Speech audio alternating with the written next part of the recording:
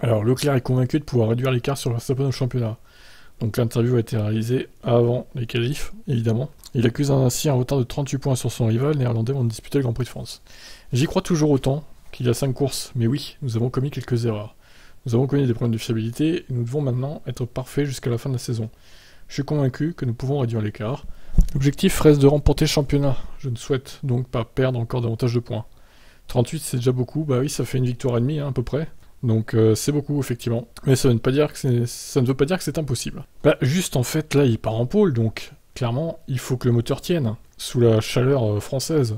En Autriche il a gagné, bon ok, ça a fait mal tourner à la fin, bon Sainz a eu une casse moteur.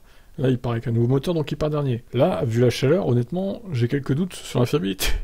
à mon avis ça va mal se mettre. Hein. Ça va mal tourner pour, euh, pour Charles, j'espère pas hein, vraiment, mais vu la solidité du moteur, je suis pas très confiant perso.